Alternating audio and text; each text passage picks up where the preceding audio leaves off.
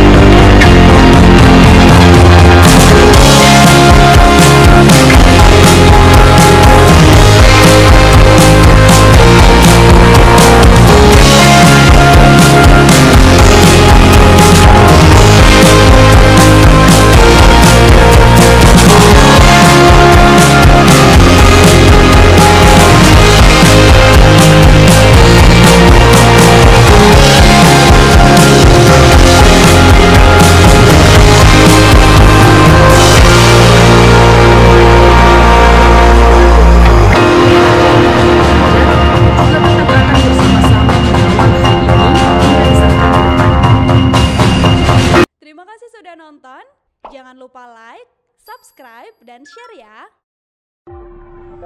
ya.